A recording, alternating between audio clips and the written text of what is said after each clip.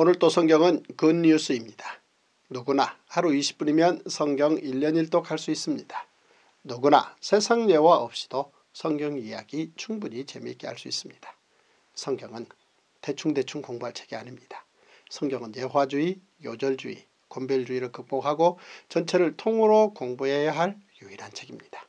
먼저 오늘의 그 뉴스 10편 79편에서 85편의 통수 5가지 포인트입니다. 첫째, 아삽은 시편 80편에서 목자와 양, 왕과 백성 그리고 농구와 포도나무 세 가지 중요한 이미지를 사용합니다. 둘째, 아삽은 우리의 명절에 나팔을 불지어다 라며 하나님을 찬양합니다. 셋째, 아삽은 세상의 모든 이들이 하나님만을 온 세계의 지존자로 알게 하소서라며 하나님을 찬양합니다. 넷째 시인은 주의 궁정의 한날이 다른 곳에서의 첫날보다 낫다라고 하나님을 찬양합니다. 다섯째 시인은 주의 은혜로 포로된 자들이 돌아오게 되었다라고 고백합니다. 성경은 소리내어 읽을 만한 유일한 책입니다. 여러분들도 저와 함께 역사순 1년 1독 통독 성경으로 오늘의 굿뉴스 시편 79편에서 85편을 함께 소리내어 읽겠습니다. 제151 시편 79편 아사베 시 하나님이여 이방 나라들이 주의 기업의 땅에 들어와서 주의 성전을 더럽히고 예루살렘이 돌무더기가 되게 하였나이다.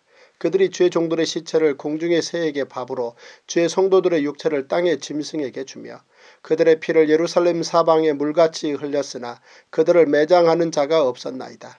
우리는 우리 이웃에게 비방거리가 되며 우리를 애워싼 자에게 조소와 조롱거리가 되었나이다. 여호와여 어느 때까지니이까? 영원히 노하시리이까? 주의 질투가 불붙듯 하시리이까 저를 알지 아니하는 민족들과 주의 이름을 부르지 아니하는 나라들에게 주의 노를 쏟으소서. 그들이 야곱을 삼키고 그의 거처를 황폐하게 함이니이다. 우리 조상들의 죄악을 기억하지 마시고 주의 긍휼로 우리를 속히 영접하소서. 우리가 매우 가련하게 되었나이다. 우리 구원의 하나님이여 주의 이름의 영광스러운 행사를 위하여 우리를 도우시며 주의 이름을 증거하기 위하여 우리를 건지시며 우리 죄를 사하소서. 이방 나라들이 어찌하여 그들의 하나님이 어디 있느냐 말하나이까. 죄 종들이 피 흘림에 대한 복수를 우리의 목전에서 이방 나라에게 보여주소서. 갇힌 자의 탄식을 주의 앞에 이르게 하시며 죽이기로 정해진 자도 주의 크신 능력을 따라 보존하소서. 주여 우리 이웃이 주를 비방한 그 비방을 그들의 품에 칠배나 갚으소서. 우리는 주의 백성이요 주의 목장의 양이니 우리는 영원히 주께 감사하며 주의 영예를 대대에 전하리이다. 시편 80편 아사베 시 인도자를 따라 소사님 에두세 맞춘 노래 요셉을 양떼같이 인도하시는 이스라엘의 목자여 귀를 기울이소서. 그룹 사이에 좌정하신 이여 빛을 비추소서. 에브라임과 베냐민과 문하세 앞에서 주의 능력을 나타내사 우리를 구원하러 오소서. 하나님이여 우리를 돌이키시고 주의 얼굴빛을 비추사 우리가 구원을 얻게 하소서. 만군의 하나님 여호와여 죄 백성의 기도에 대하여 어느 때까지 노하시리이까. 주께서 그들에게 눈물의 양식을 먹이시며 많은 눈물을 마시게 하셨나이다. 우리를 우리 이웃에게 다툼거리가 되게 하시니 우리 원수들이 서로 비웃나이다. 만군의 하나님이여 우리를 회복하여 주시고 주의 얼굴의 광채를 비추사 우리가 구원을 얻게 하소서. 주께서 한 포도나무를 애굽에서 가져다가 민족들을 쫓아내시고 그것을 심으셨나이다. 주께서 그 앞서 가꾸셨으므로 그 뿌리가 깊이 박혀서 땅에 가득하며 그 그늘이 산들을 가리고 그 가지는 하나님의 백향목 같으며 그 가지가 바닥까지 뻗고 넝쿨이 강까지 미쳤거늘 주께서 어찌하여 그 담을 허시사 길을 지나가는 모든 이들이 그것을 따게 하셨나이까 숲속에 멧돼지들이 상해하며 들짐승들이 먹나이다. 만군의 하나님이여 구하옵나니 돌아오소서 하늘에서 굽어보시고 이 포도나무를 돌보소서 주의 오른손으로 심으신 줄기요 주를 위하여 힘있게 하신 가지니이다.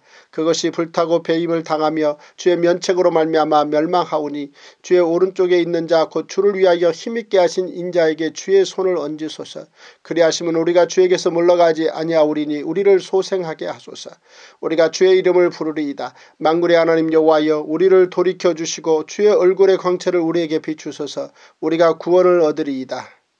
시편 81편 아사베 시 인도자를 따라 기띠세 맞춘 노래 우리의 능력이 되시는 하나님을 향하여 기쁘게 노래하며 야곱의 하나님을 향하여 즐거이 소리칠지어다.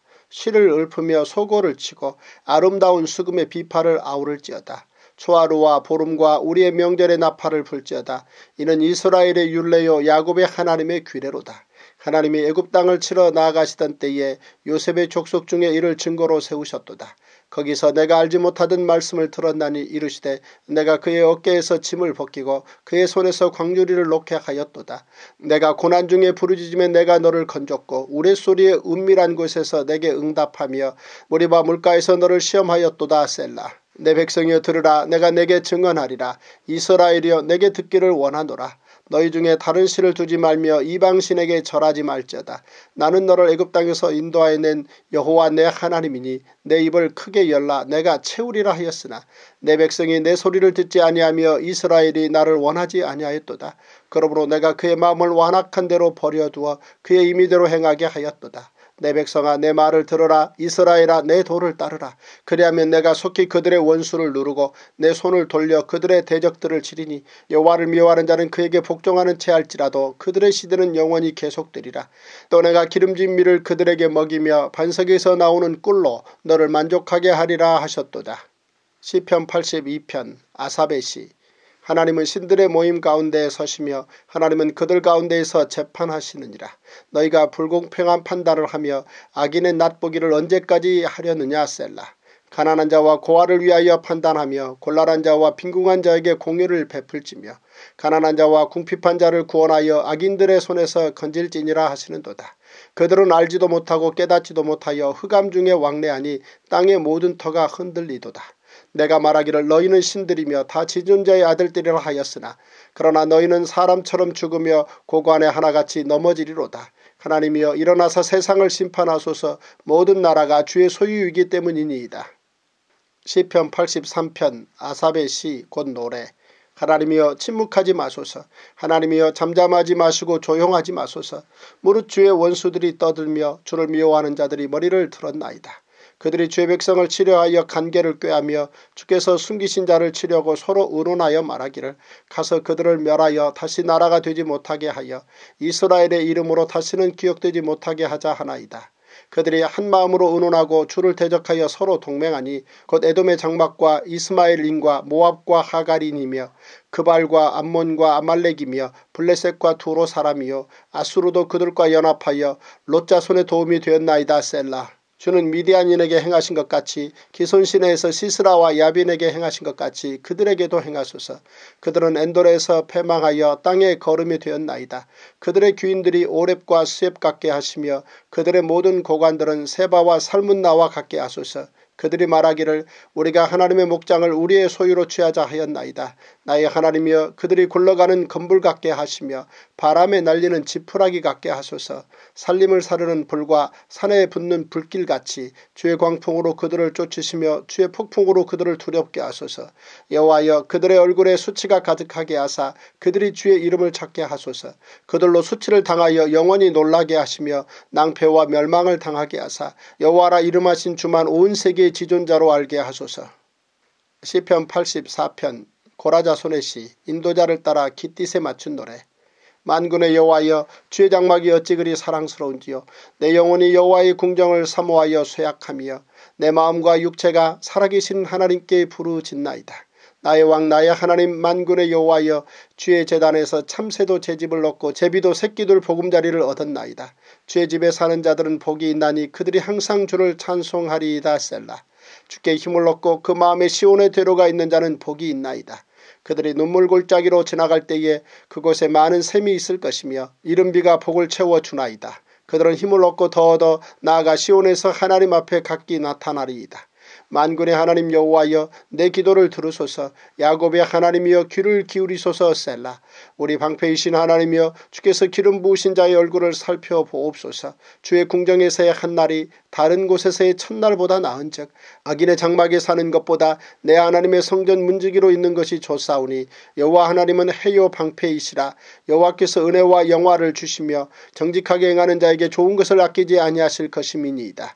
만군의 여호와여 주께 의지하는 자는 복이 있나이다. 시편 85편 고라자손의 시 인도자를 따라 부르는 노래 여호와여 주께서 주의 땅에 은혜를 베푸사 야곱의 포로된 자들이 돌아오게 하셨으며 주의 백성의 죄악을 사하시고 그들의 모든 죄를 덮으셨나이다 셀라 주의 모든 분노를 거두시며 주의 진노를 돌이키셨나이다. 우리 구원의 하나님이여 우리를 돌이키시고 우리에게 향하신 주의 분노를 거두소서. 주께서 우리에게 영원히 노하시며 대대에 진노하시겠나이까? 주께서 우리를 다시 살리사 주의 백성이 주를 기뻐하도록 하지 아니하시겠나이까 여호와여 주의 인자하심을 우리에게 보이시며 주의 구원을 우리에게 주소서 내가 하나님 여호와께서 하실 말씀을 드리리니 무릇 그의 백성 그의 성도들에게 화평을 말씀하실 것이라 그들은 다시 어리석은 대로 돌아가지 말지로다. 진실로 그의 구원이 그를 경외하는 자에게 가까우니 영광이 우리 땅에 머무르리이다. 인애와 진리가 같이 만나고 의와 화평이 서로 입맞추었으며 진리는 땅에서 솟아나고 의는 하늘에서 굽어보도다. 여호와께서 좋은 것을 주시리니 우리 땅이 그 산물을 내리로다. 의가 주의 앞에 앞서가며 주의 길을 닦으리로다. 오늘 우리는 시편 79편에서 85편을 함께 읽었습니다. 시인은 환란 중에 하나님의 얼굴을 햇빛처럼 비추셔서 구원을 얻게 해달라고 기도합니다. 하나님께서는 우리를 하나님의 은혜를 먹고 자라도록 그렇게 정해놓으셨습니다. 그래서 제사장들의 축복선언 가운데 여호와는 그의 얼굴을 내게 비추사 은혜 베푸시기를 원하며 라는 내용을 넣게 하셨습니다. 다윗도 수없이 하나님의 얼굴을 구하며 환란 중에 응답해 주시기를 기도했습니다. 하나님께 믿고 간구하면 하나님께서는 자녀들의 요구에 응하시며 풍족히 채워주실 것입니다. 모든 성경은 하나님의 감동으로 된 것으로 교훈과 책망과 바르게함과 의로 교육하기에 유익합니다. 성경 한 권이면 충분합니다. 그러므로 오늘도 세상 뉴스를 넘어 Good News 성경으로 행복하시고 Good News 성경으로 승리하시는 멋진 하루 되십시오. 와우!